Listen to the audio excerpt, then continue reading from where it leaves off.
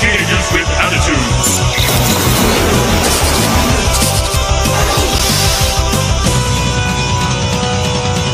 They've got.